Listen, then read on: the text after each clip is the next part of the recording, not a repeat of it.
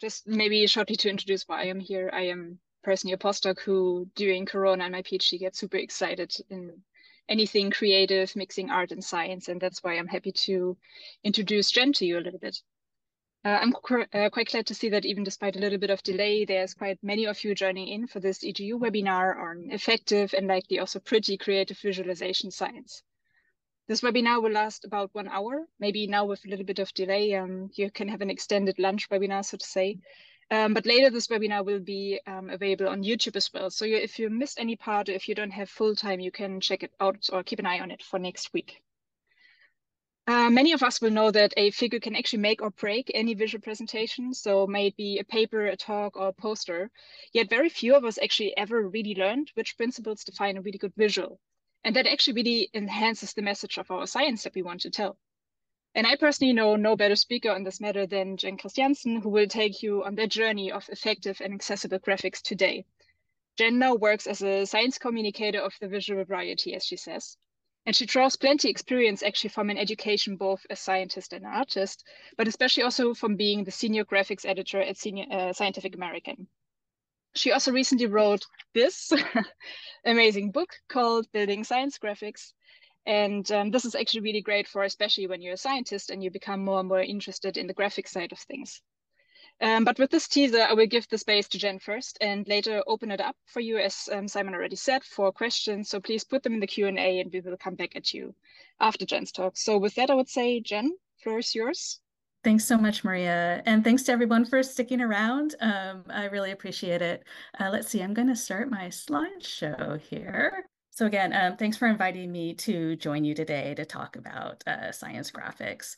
Um, I'm going to start with some context so you can better understand my point of view. And then I'm going to jump to some definitions and background information. Um, I'll touch upon how graphics fit into the practice of science communication. And then I'm going to pass along some top tips for designing science graphics. And finally, I'm going to share just a few makeover examples. Um, so that should all take about a half hour and then um, we can have a Q&A. So for more on design basics and a deeper dive on what I'll be sharing today, um, you can check out my book, Building Science Graphics. Um, on this web page, I have a clickable list of additional resources, um, so many of which are available freely online. Okay, so for some context, um, a little bit about me so you can better understand what's informed my point of view.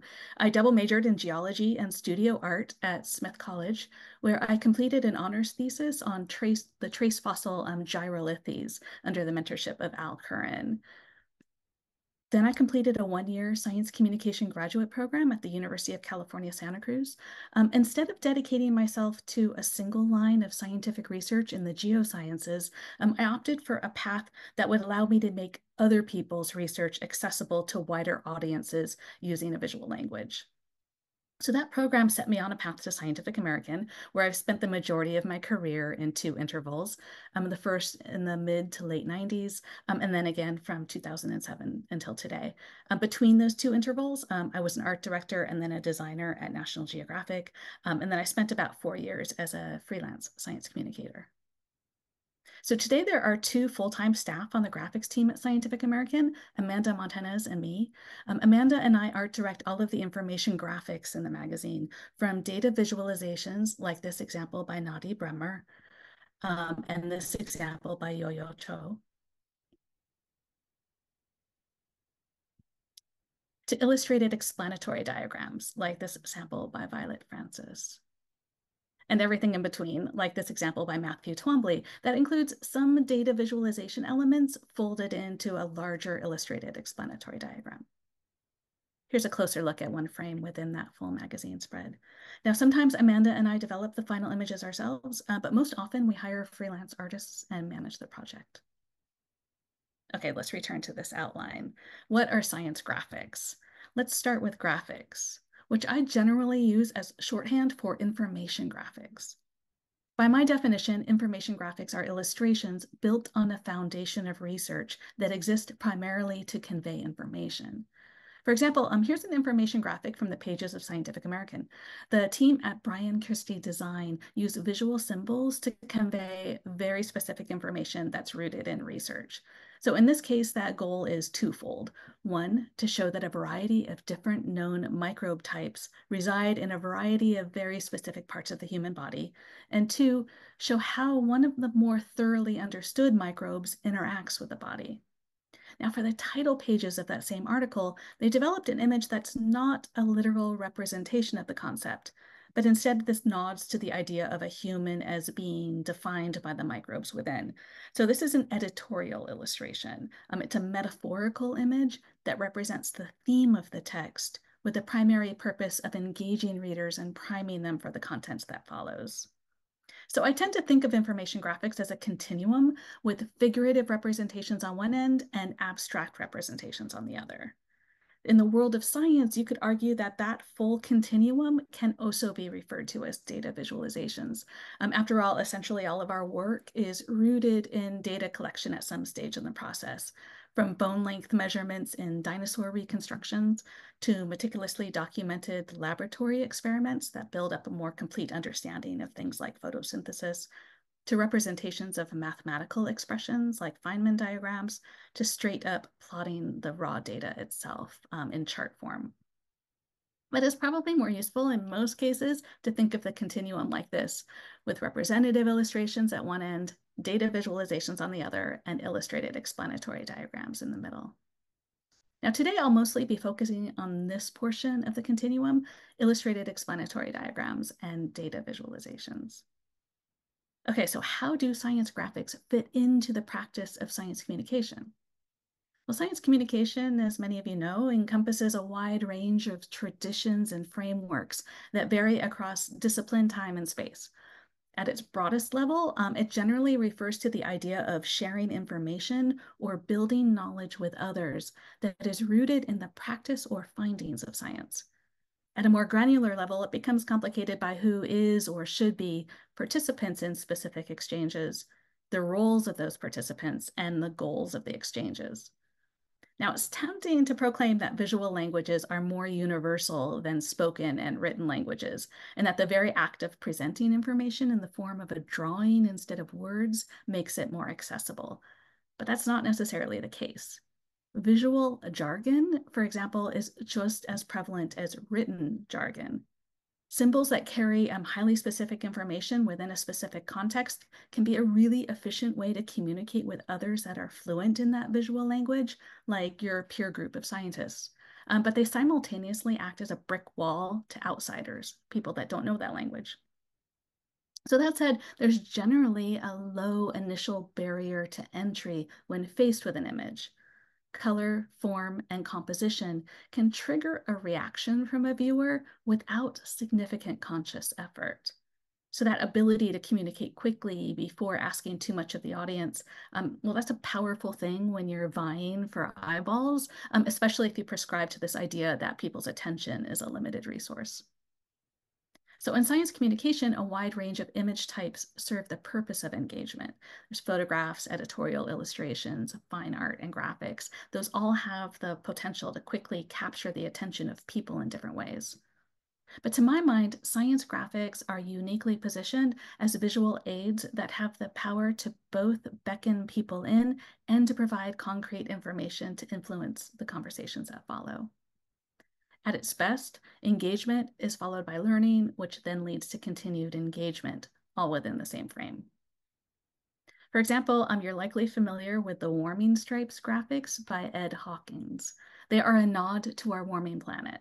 So no labels or captions are needed in order to get the sense that this stripe pattern is showing a progression of something from a cool blue to a hot red. This pattern reproduces legibly on everything from social media profiles to t-shirts, magazine covers, mugs, and concert screens. But just as critically, the charts live within a spare, dedicated website. That site has easily shareable and downloadable charts for many different locations around the world. And it includes a clear and friendly invitation to use the charts for any purpose, copyright free. Now, all of those boxes can't be ticked for all science graphics, um, nor should they be. It all depends on the goal of the chart. but it's an inspiring example of um, a visual about an important topic that was designed to be shared widely in unconventional ways.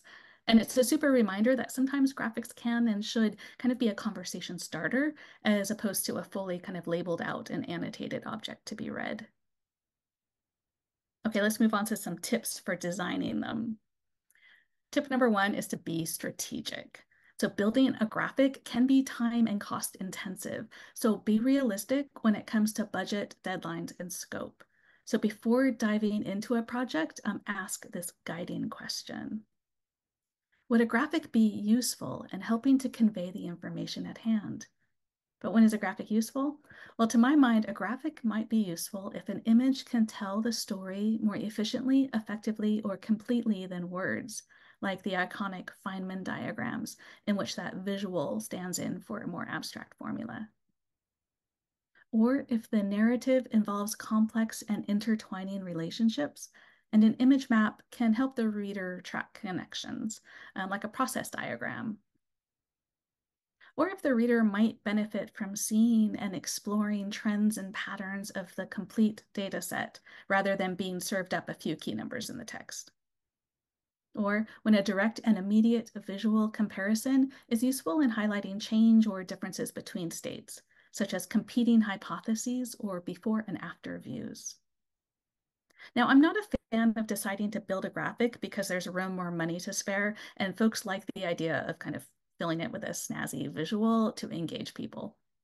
So engagement is an honorable goal, but if that's your only goal, I'd um, encourage you to consider if a representative illustration, like a straight up drawing of the object itself, an editorial illustration, like a metaphorical piece of art that's evocative in nature, or a photograph um, might be a more fitting solution. Okay, tip two is to articulate the goal of your graphic. So write down the goal of your graphic before you start drawing. What's the point of the image? Keep it short and succinct, usually about like one to three sentences. That stated goal is your touchstone.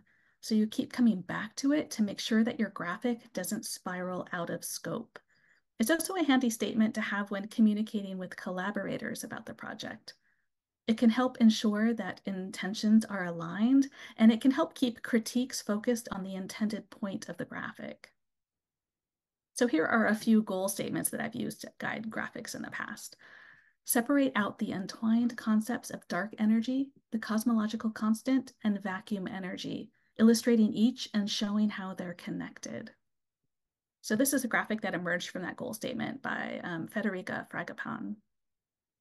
And there's a closer look at a few details. Here's another goal statement. Um, this is display the author's atmospheric river intensity scale, helping readers see how the two variables help predict storm impact, the amount and duration of water vapor transport. And here's a graphic that emerged from that goal statement with duration on the x-axis, the amount of water vapor on the y-axis. Um, the storm categories are then marked on the right side, connect, connected um, directly with color-coded blocks um, from hazardous level five at the top to beneficial level one at the bottom. So this goal statement was show the top three hypotheses for how undersea freshwater reservoirs may form. It should be easy to compare and contrast the different mechanisms. And here's the imagery that emerged from that goal statement. Um, in order to make the differences and similarities across each scenario easy to spot, artist Julia Ditto kept the cutaway perspectives the same in all three, and then thick light blue arrows show the path of fresh water into the reservoir in each cutaway. And here's one more. Um, so this goal statement was show how an artificial leaf made of silicon nanowires works. In a process similar to photosynthesis in natural leaves, it transforms photons into storable, transportable fuel. And then here you can see that artist Cherie Sinnen honored the goal statement by showing not only how an artificial leaf works, but also how it compares to natural photosynthesis. And each step of the process for artificial photosynthesis is aligned with the corresponding step in natural photosynthesis. Okay, tip three, keep context in mind. So content is usually pretty clear. Like that's just the information that you're visualizing as articulated in your goal statement. But context is equally important, but it's often to, um, kind of neglected at the start of a project. So what tools will be used to make the graphic? Where will it appear? Who is the audience and what is the designer's relationship with that audience? And when does it need to be completed? All of those factors shape decisions related to what pieces of the content are critical to include and how it should be presented. So some of these factors are more regimented than others. Um, for example, the destination of your graphic might dictate the size and the format. Um, like a journal might, provide you with very clear kind of dimensions and file type instructions. Um, other variables uh, like the intended audience and accessibility measures, um, those are more complex and less prescriptive. Um, I recommend consciously describing and maybe even writing down the key variables about the context including where will your image live? So the answer to this question will inform decisions related to both content and style, as well as the dimensions of your graphic um, and therefore the composition or how elements are arranged on that page. It also informs the level of detail that might be appropriate. Um, for example, um, take this Swiss cheese pandemic defense graphic by Ian Mackay. It's totally suitable for viewing on a laptop screen or a computer monitor and in print. But I'm guessing you're having a little bit of a hard time seeing and digesting the details um, in this spoken word presentation. Um, the title, subhead, and labels are all critical for a standalone graphic, but combined, those details make this graphic a little bit too dense with information for you to properly read and absorb while also listening to a speaker or, or while um, reading closed captions. So for a live presentation, many of those illegible details can be removed. The speaker will be providing that broader level of context with their voice or via closed captioning. So the graphic doesn't need to be completely self-explanatory.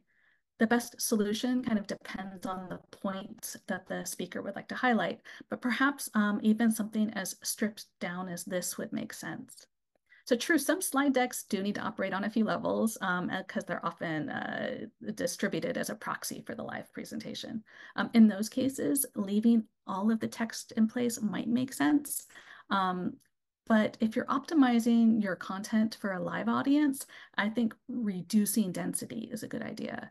Um, if you like the best of both worlds, you could keep the slide less dense and include a link to the original fully detailed graphic um, in the notes.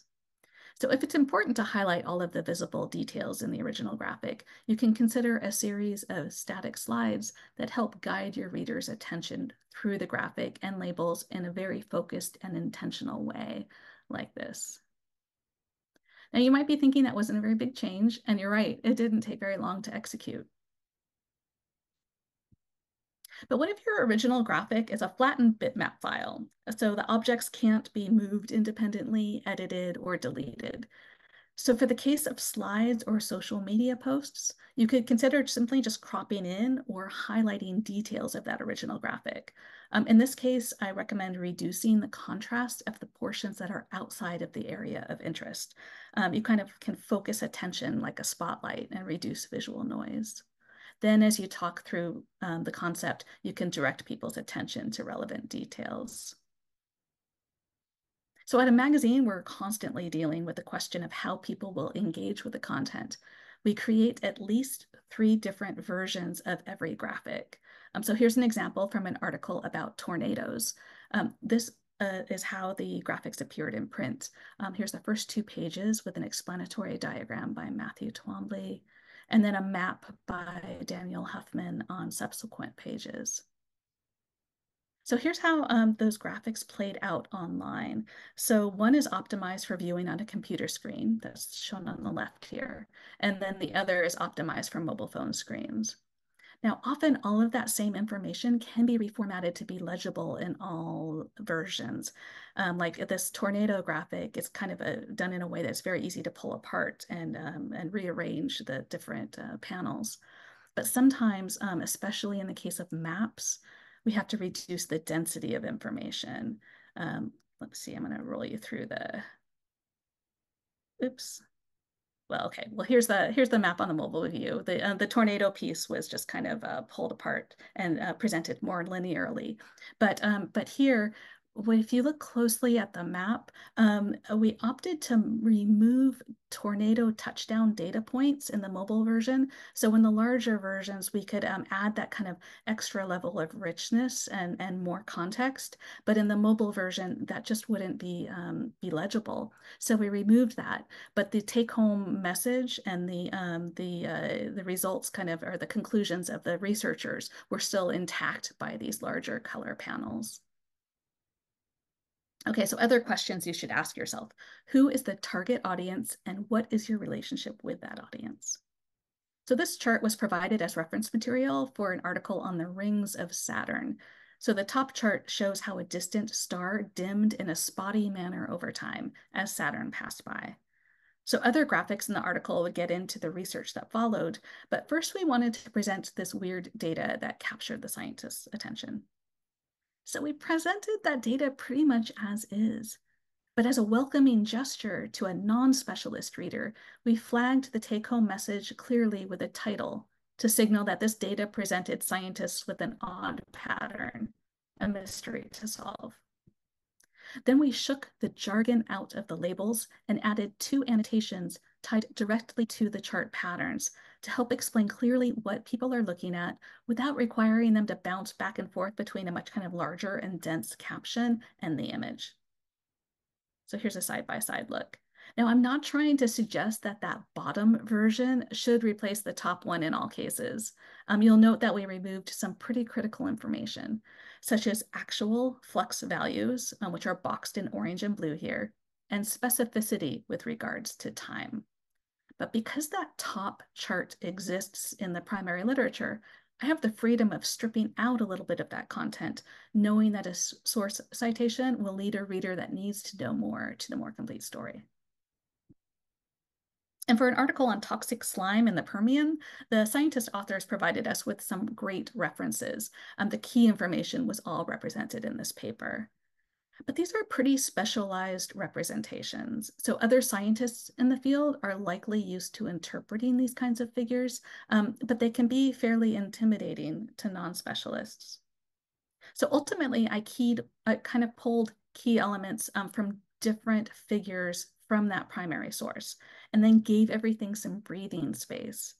So critically, um, annotations help walk a reader through the concepts one step at a time, providing readers with context at the point in the graphic that is most useful to them. So my text colleague and I also unpacked the jargon. So basically we translated much of the specialized written and visual language into a very, very kind of plain language so that more people could understand it. It's not as precise as using jargon, um, but it's more suitable for an audience that doesn't know that language anyway. Okay, so given the outlet and the audience, what tone or vibe feels appropriate? So the answer to this question, along with the subject matter, will inform decisions related to rendering style and illustrative details. So that's demonstrated here by a pair of graphics that both show an exoplanet um, passing in front of a star.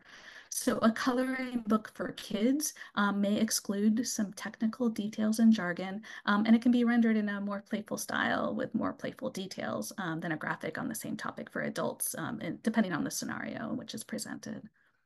Um, and I love this wonderfully kind of quirky graphic by Mona Chalabi for The Guardian. Um, it's really well suited to engage general readers with a topic, um, but it probably wouldn't be a great match for an academic journal. Now, tip four is to remember that building a graphic is a process. You can't expect graphics to emerge fully formed right before the deadline in a single go. So with some forethought and structure, you can set up your graphics building kind of process to dovetail with stages in your larger project so that the graphics can be properly reviewed by other people in context. So I recommend starting with lots of fast, low risk doodles. So experiment with different ways to organize the information there's something kind of really freeing about just taking a pencil to paper and just scribbling out ideas. So pencil sketches, they're fast, they foster an exploratory mentality, um, and they're low risk. So after you've narrowed in on a solution that you're happy with, you can shift from exploration mode into presentation mode and then make things more intelligible for your collaborators. So at this point, I find it helpful to break the process up into three formal segments, concept sketch, type sketch, and final graphic. So consider dovetailing those steps with other deadlines for your project, um, such as text revision and editing deadlines. So for your concept sketch, create a frame that matches the absolute dimensions of your final product. Use your doodles as a guide and transcribe that information into the larger frame. Include preliminary captions or placeholder text and labels so that you remember to actively design them into the space and that you're considering how they'll relate to the imagery from the start. And then send that concept sketch out for review by your collaborators with specific questions related to what type of feedback you're hoping for at each stage. For example, at this concept sketch stage, I'm most interested in making sure that I'm getting the big picture right and that folks understand the intended flow of information. There's no need to focus on aesthetics at this stage. So feedback should focus on whether the information um, and the path through that information is useful, clear, and accurate. And then if the feedback from collaborators um, on the concept sketch is relatively minor, um, then you can develop a tight sketch. Um, the, at this stage, I'm kind of correcting errors and sharpening the details and um, writing captions or, or collaborating with other folks to write the captions as well. And then for the final graphic, correct any remaining errors and finalize the rendering style, including color. Um, at this, I'm, I'm always paying attention to how labels and other text elements are interacting with that imagery. So by working through those stages with concept sketches that sort of start as broad stroke composition guides, kind of like a text outline, um, that and, and if that outline is, is deeply rooted in the concept being explained, I'm forced that I'm kind of really, um, I, I'm, I find that I'm forced to really think through the content before getting distracted by drawing the details. Now, you may have noticed that the design tips section of this talk so far haven't included discussion of design fundamentals, mostly since I think those sorts of concepts are best absorbed um, when you're actively working on a project. So instead, I kind of stepped back and presented um, concepts that are particularly helpful when it comes to creating visuals in the service of science communication, um, in part because I also think those concepts are useful to everyone, um, regardless of your previous design training but I can't really give a talk about science graphics without at least demonstrating how you can use composition, so how things are organized, color, and typography in your favor. Again, for more on design fundamentals and a deeper dive on what I'll be sharing today, um, check out my book, Building Science Graphics. Okay, demo one is a composition makeover. So this is the first installment of a demonstration that takes part in three stages. Um, it's a hypothetical graphic destined for a hypothetical academic journal. So this content is completely made up. Um, the initial graphic includes less than ideal design choices that are not made up. I've seen graphics like these from scientists a lot. Um, so this first makeover stage is limited to changes in composition or how objects are organized within the frame. Then I'll move on to color and typography. So the rendering style will remain constant and consistent throughout all of the stages. Um, it's a fairly standard style that doesn't lean back on kind of advanced illustration training or complicated tools. So the goal of this graphic is to show the pathogenesis of classical cat treat disease and paradoxical cat treat disease, and how the condition can be confirmed by testing for levels of three specific proteins. So here's a closer look at the imagery. And here's the redesigned version of that graphic. So the composition changes I've made are primarily in the service of one, clearly showing the linear flow of the process, and two, facilitating an easy and direct comparison between scenario A on the top and scenario B on the bottom. Here's a look at the before and after side by side. Now, simply due to alignments, the differences between the two scenarios are easier to spot in the version on the right.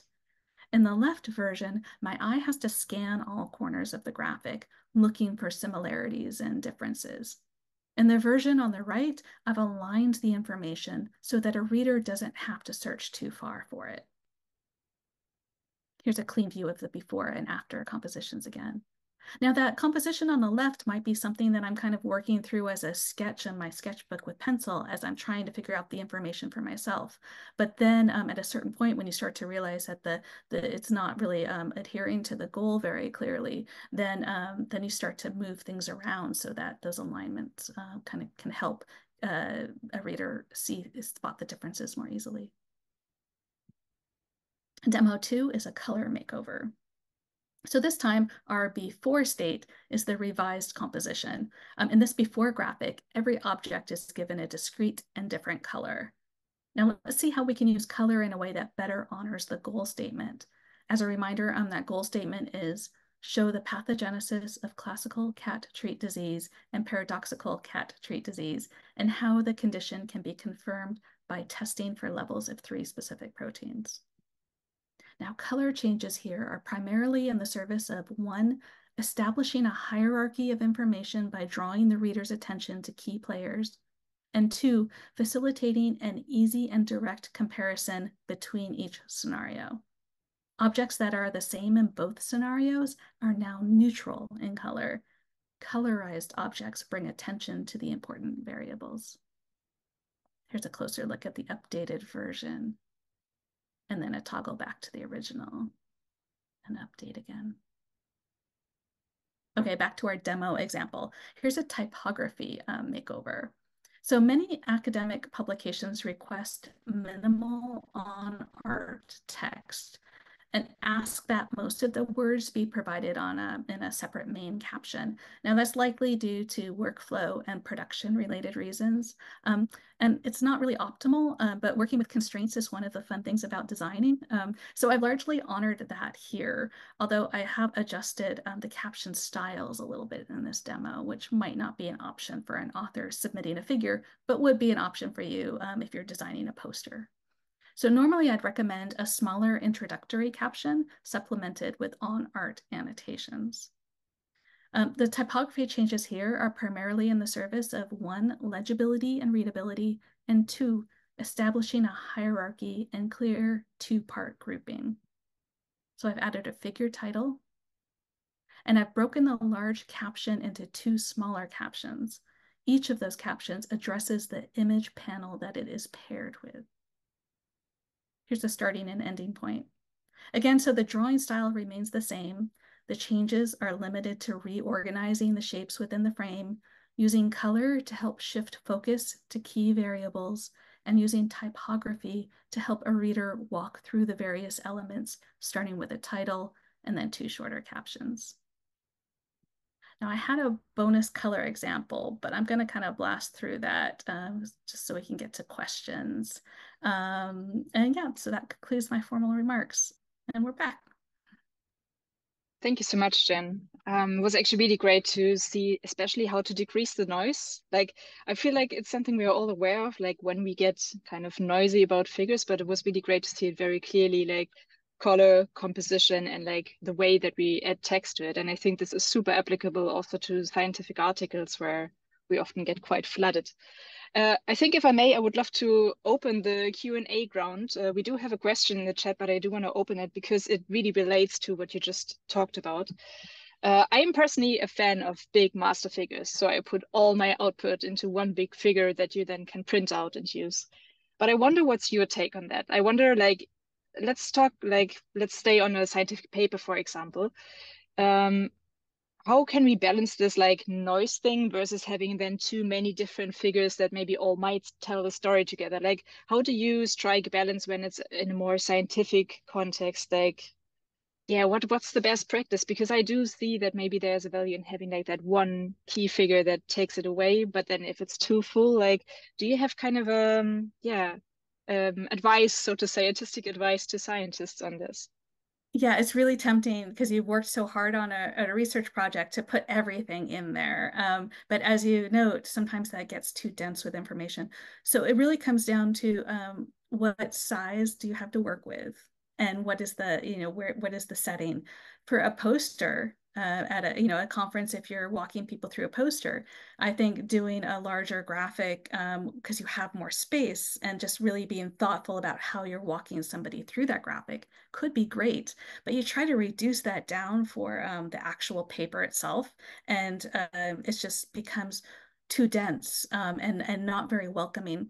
Um, but then there's the flip side of that is these graphical abstracts that are becoming a bit more popular, um, where you you are supposed to sort of tell the full story or at least kind of the the the big big picture hits of your paper in a very small space graphically. But that just requires an editing mindset. Like um, if just think about it in terms of if you're writing your text for a full paper you're going to leave in a certain amount of detail if you're trying to communicate your research in a social media post, you're going to edit that down and just hit the main point. I think you just need that same mindset um, uh, with, when you're working with imagery. It's like you just need to edit yourself based on the amount of space that you have available. Yeah, that makes sense. And I do see graphic abstracts are a really great place for us to actually become more creative and more clear about the message. So it's really great that you bring that up. Um, I would love to bring up a question of Leticia um, Santos Del who asked, could you suggest some free software that can help us on the process of designing and coloring graphics? Uh, free software, that's always a trick, isn't, isn't it? I think um, Inkscape I think is free. Um, I use the uh, um, Adobe Creative Suite because uh, that's kind of industry standard in publishing, but that's not free. Um, but if you do work at an institution or a, a, a university, um, you can usually get discounts, um, academic discounts. Um, I think in Inkscape, I know a lot of people use Canva. I know that there are uh, other uh, tools such as um, BioRender, but that's also not free, so I'm not answering your question usefully there. I know, does, does anybody else have ideas? Please write them in the chat if you use something that you like that's free. Um, I also also know the Noun project, which is sometimes being used to get icons for certain things. And then you, I'm an old school PowerPoint person. Like I really do like editing things in PowerPoint because it's free. And then the yeah, Noun project supplies a lot. Yeah. Yeah, PowerPoint um, has its limitations, but it's like any other tool. You just work within the limitations, and it's you know if you're familiar with it and and you're um, it's easy for you to work with, then it's a good tool. Um, so uh, the Noun project PhyloPic, did you mention PhyloPic has um, species ones. So that's like if you're working uh, like they, they think they have a great um, set of dinosaur illustrations, for example. Um, PhyloPic tends to be uh, a little bit more uh, probably correct overall. The noun project, you'll get symbols that haven't necessarily been um, created by um, by other scientists. But PhyloPic, I think it's a, there's a little bit more kind of uh, adherence to being an accurate uh, illustration, if that's important. Sometimes an icon doesn't need to be incredibly accurate, but um, but sometimes it does. So, yeah, thank you. Oh yeah, um, somebody wrote Inkscape is free. Great, yeah. Yeah, just building on um, I suppose, idea of resources. Um, but I was wondering, uh, there's a question here that asks, uh, do you have any tips regarding avoiding colors that can be complex for colorblind um, individuals? But I was wondering if there was also resources in you associated with that. Perhaps you could share those as well. Yeah, so my favorite tip for um, helping with uh, color, you know, making sure that your your work is accessible to as many people as possible, is um, print it out your graphic on a black and white printer or grayscale, or change your color settings on your computer to grayscale. If you still can't get the main points, then you might be relying on color too much. Um, so that's kind of an easy, easy way to sort of help. And and and in that case, if um if some of the key information that I'm trying to show with color disappears, I double encode. So then I might like um, make the outline of that object darker or make sure that two um, symbols I use are different forms. So I'm not just relying on color. I'm also relying on another visual cue. There are some great um, resources and more and more appearing online. A lot of programs, like um, I know Illustrator and Photoshop do this. Um, I'm not sure about some others. Uh, you can change to um, to a, a, preview setting that allows you to see it under the kind of the two most commonly forms of color blindness. So you can change to that filter to see if your main points have been lost or if they still um, are visible. Um, and then there's also uh, color palette picking tools. I think um, Brewer, Color Brewer might be one of them. If you go to buildingsciencegraphics.com, there's a more to explore tab there that URL I shared earlier. And there um, I include links to some more um, kind of tools and articles that point out um, other free tools to help you with, uh, with color palettes. I will comment them into the reply to Letitia's question. And that also, um, maybe you also know Fabio Crameri actually set up a color map uh, that's to be used for scientific uh, figures and also goes into different types of color blindness. But I'm putting oh, them nice. into the comments to that one. Thank yeah. you so much. So I actually just post Fabio's link in the chat because that came to my head, my head immediately. Um, someone else also mentioned you can use viridis palette as well. Um, moving on to a, another question. There's a question about how do you plot perhaps geological timescales with respective durations? So I guess you've got quite a broad area with a lot of condensed information to represent. How would you approach that complexity? Yeah, I often, um, especially for non-specialists, show uh, the bigger picture and a little bit of a, you know, in a, a tap up above, and then kind of zoom in on the area. That allows you to then also zoom in on multiple areas without losing that sense of scale between them. So I might just do, you know, here's here's the big picture for folks that are new to the topic or, you know, maybe haven't grappled with these kinds of time frames before. And now I'm going to show you what happened, you know, at the Permian versus what happened now. Um, so you can you can still get that full image above of the distance and the distance the time between the two without um, uh, having it dominate the full page.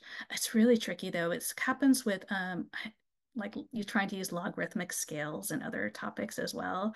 I really try to avoid use them whenever possible um, but sometimes the pattern's just not visible without it. So in that case, if I'm using something like a logarithmic scale, I will make sure that I include the tick marks and label those axes very clearly. Um, I'm still not always very um, comfortable with that as the solution. Um, and there was a recent article, a web, uh, I need to pull up that link. Um, uh, there was a recent conversation about alternatives to logarithmic scales. Um, uh, I'll have to look that up again. Thank you. Um, I just actually have a question following on from think about the idea of showing that kind of change or journey throughout time. I was also thinking about storytelling and graphics and mm. how do you want to represent that? Because in one sense, you want to kind of just represent perhaps research's data as it is, you know, in a way that's consumable, but also a lot of data um, needs explanation as well, which often kind of describe its impact. Um, do you weave that into your graphic design, or is it something you can pick and choose with? Yeah, no, we do use that a lot, uh, like kind of the storytelling and narrative um, approach in magazine work. And I think more and more uh, is being used elsewhere by scientists too. Um, you notice I, I, shared several examples by Matthew Twombly, who's a fabulous artist to work with, who um, approaches things in a very kind of um, uh, in, in a way that uh, it tells a story, but there's still really kind of hardcore science and sometimes data visualizations embedded within that. Um, so uh, you can take that approach and strip out maybe some of the more kind of figurative pieces for your, uh, you know, your peers in, in a science content, in a, like an academic context. But then um, having a narrator, like a person in that scene, kind of then helps non-specialists understand that information. But what I like most about that kind of narrative approach is it it allows you to sort of um, figure out what these key points are and how you want to walk somebody through that. And then you're doing it in a very intentional way. Um, and you're not just saying, here's the information. Um, I'll tell you what the key, the highlight is, but I'm going to kind of let you connect the dots on your own.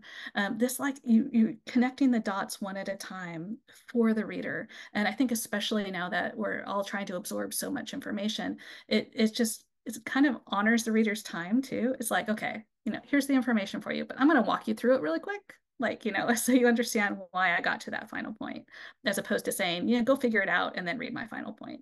Um, so I think it's a really, and, and it's, it suits itself so well to being pulled apart and then rearranged for other contexts. Um, you can put it on a mobile phone. It's still kind of a linear way of reading and thinking.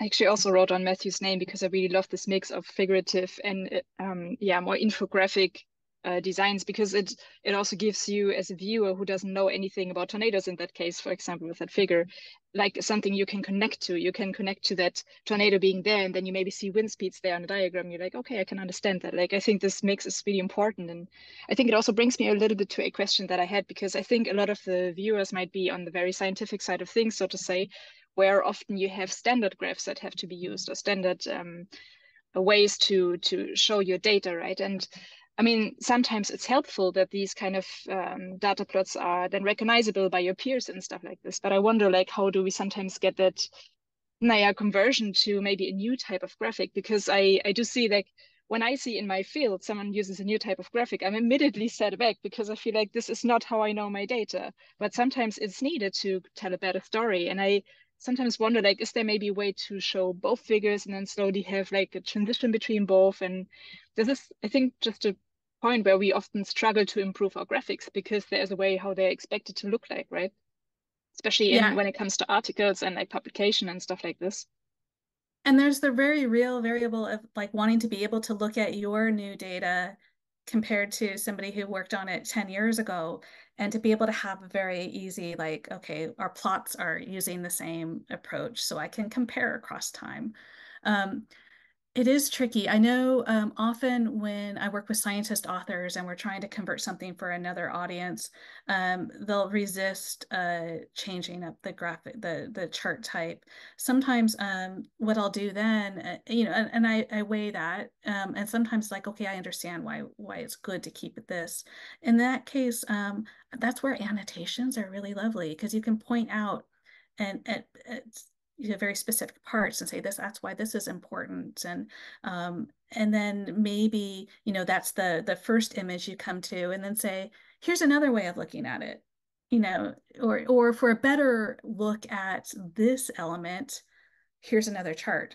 So i think if your alternate approach helps people see that data eh, or information from another perspective that would be useful in the context of what you're writing, completely valid to show the data in a few different ways.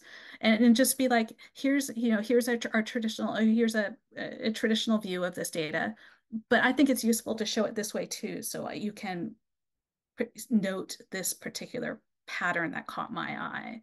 Um, so uh, yeah, I think there's something to be said about shared languages and tradition. But if you get stuck in that just because that's how you do it and people aren't questioning it, then it gets a little bit, um, it, I think it can kind of stunt the growth of, of, um, of the field. Yeah. Yeah, definitely hear you. I think I also got my biggest um, inputs of our like inspiration actually when someone was really good in a presentation within a group meeting or so. Like in a figure, in an article, usually the same ends up everything looks uh, ends up looking the same but then some people have the skill to just what you showed break things down for a different medium. And suddenly in the presentation they digest it so well that you really understand it. And i sometimes i'm really hoping that there will be more flexibility in the future in the scientific field that we can actually explain what we do. But i really love that for now we got uh, presentations posters and graphic abstracts to become a bit more creative maybe also as scientists so um, I was maybe wanting to go back to one question that we have in the Q&A. Uh, Kevin actually asked if there are maybe one or two studies that um, help you understanding or that, that go into the effectiveness, so to say, of learning with graphics. So I, I can imagine, Kevin, please correct me if I'm wrong, but kind of maybe proving that better figures help the learning, um, maybe in connection to the science that we have. Do you know if there's like um, some resources we can read into because I can imagine like I remember when I focused a lot on making figures during my PhD, my supervisor would do this and say, please don't do that. Like there's not enough time, right? So I, I maybe Kevin, that's where you're coming from, but maybe like some kind of study that helps us see, yes, graphics matter and they make your science bigger, so to say, or more seen. Yeah, so perception researchers are working on this, but uh, the field is younger than I would like it to be. I feel like a lot for a long time people were just making proclamations, like, well, of course, this, you know, and now it's starting to be like, okay, well, where's the evidence? I mean, um, and so uh, there are lots of studies that focus on very specific case studies. So um, uh, there was a great one. Oh, I'm gonna Chen is her last name of one of the authors. Um, I have, again, they're in that more to explore um, thing on my website, I believe. But um, there's one that uh, says, your the impression of your article uh, if you have well designed figures based on kind of some best practices so that's also a little bit fuzzy what is a well designed graphic but but but figures in a in a um, paper that were designed redesigned by a professional designer um, the result was uh, that readers thought that that that those authors were smarter and knew their stuff more. So like there's there's some subtle things that are happening. That's not saying what they took away from informationally but that is implying that there's a um, an impact on percept on on um, your your perception of the authors, not necessarily just of the work itself. So there's some studies that are starting to show that. Um, other studies that um, memorability um, it, so if you want somebody to remember your paper like to not have the standard you know just the bar charts but some of the things that um, that uh, make it memorable uh, you know so if you want somebody to remember your paper later that's kind of another area and like yes having unique chart forms um, and titles and some very intentional uh, use of words can do that. That was a famous study by Michelle Borkin, maybe about 10 years ago now.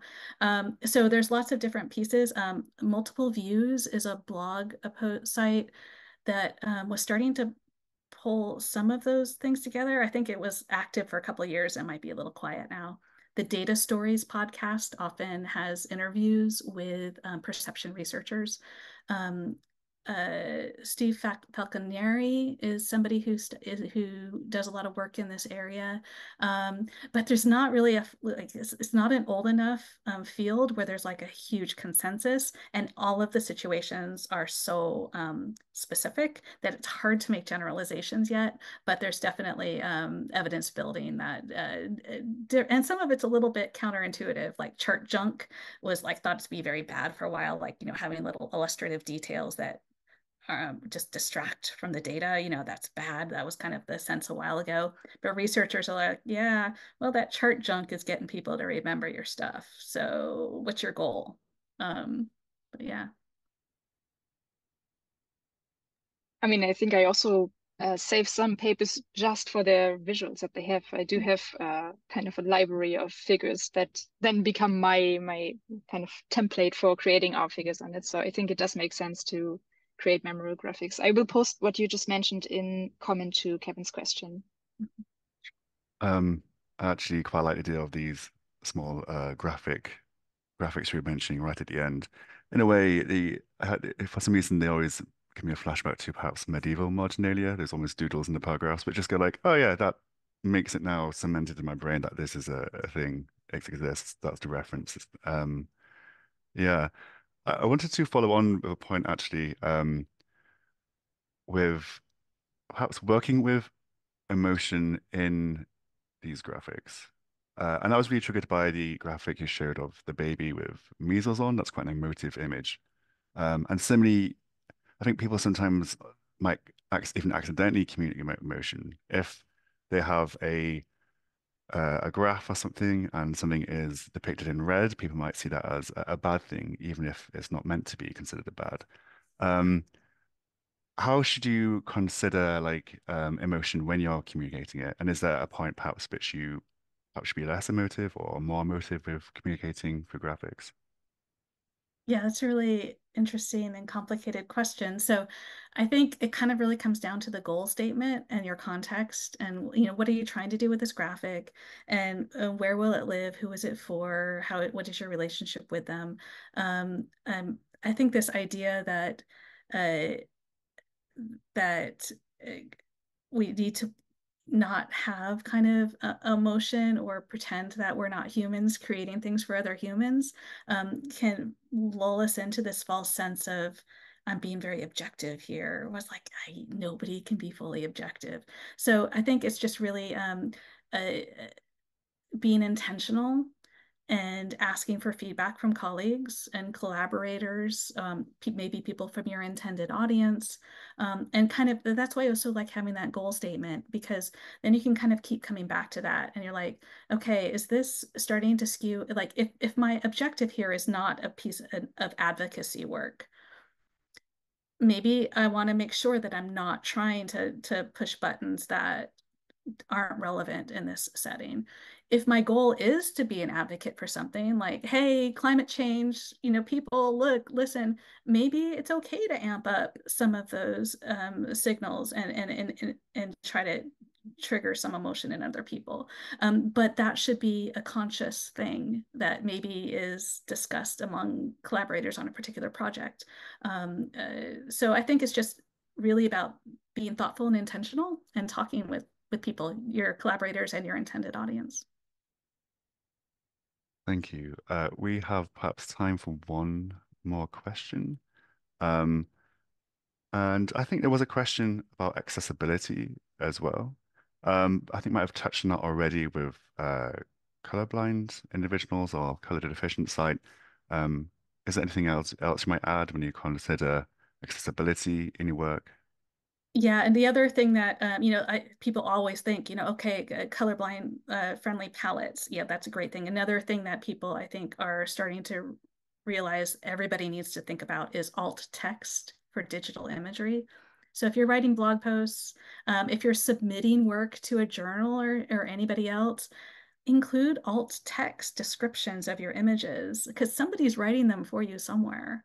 Like if they're going online in, in a journal thing, somebody probably is writing them for you. Like if you want to control what that is and you know what you want that main point to be for somebody who might not be able to see it, if you write that alt text, I bet they'll use it because like that takes, you know, so um, I also find that when you're working on, um, on things like goal statements for graphics, that often translates very well into um, alt text. Um, but it's just a habit. I'm always writing credits and alt text for every image, and I have that living with the images. So if I use that image somewhere else, I have that information handy.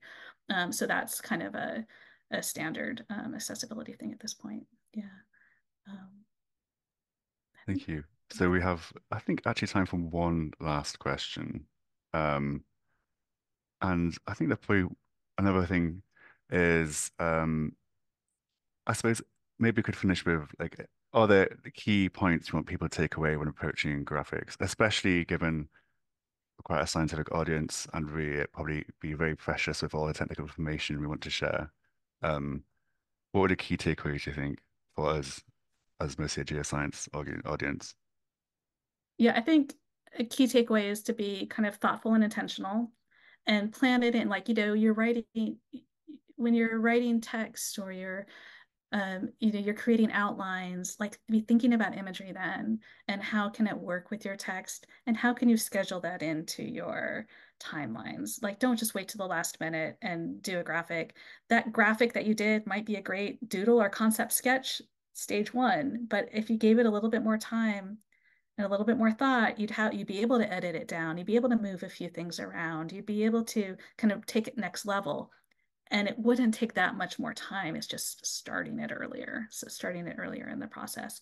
Um, and the other thing is just always um, be asking questions about where will this graphic live? Because um, that's going to impact so many things, density of information, all this other stuff we've been talking about. Excellent. So we are at an end now. I want to thank you, uh, Jen, for presenting today and Maria for hosting.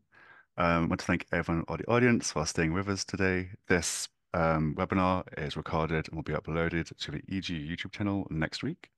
Uh, otherwise, thank you so much. Have a good day. Great. Thank you. Thank you.